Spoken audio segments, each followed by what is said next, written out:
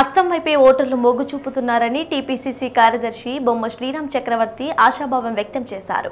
Parliament ఎన్నికల్లో భాగంగా చిగురుమామిడి మండలంలోని పలు గ్రామాల్లో జరుగుతున్న పోలింగ్ సరళిని శ్రీరామ్ చక్రవర్తి కార్యకర్తలను అడిగి తెలుసుకున్నారు. వీరి వెంట సుందరగిరి సర్పంచ్ శ్రీమూర్తి రమేష్ పటేల్ నాయకులు కంది తిరుపతి రెడ్డి ఆకుల మల్లికార్జున్ పటేల్ కంది శ్రీనివాస్ గంధం చంద్రయ్య పటేల్ భిక్షపతి తదితరులు ఉన్నారు. లోక్సభ ఎన్నికల్లో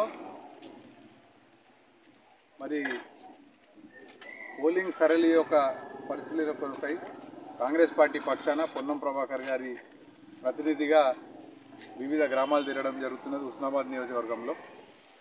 మరి ఎక్కడికి పోయినా కూడా ఒక సానుకూలమైన స్పందన వస్తున్నది ఓటర్ల దగ్గర నుంచి. మరి పొన్నం ప్రభాకర్కు ఒకసారి అవకాశం ఇవ్వాలి గతంలో మరి తను పార్లమెంట్లో ఏ విధంగానైతే పోరాడి తెలంగాణ సాధించిండ్రో సోనియా గాంధీ గారి నాయకత్వంలో మరి అప్పుడు ఒకసారి అవకాశం పోయింది. కానీ ఈసారి ఆయనను మరి ఒక బడుగు బలైన వర్గాల బిడ్డలాగా మరి తనను పార్లమెంటుకు పంపించేటందుకు సిద్ధంగా ఉన్నట్టు ఒక ఓటింగ్ సరళి అర్థమవుతున్నది.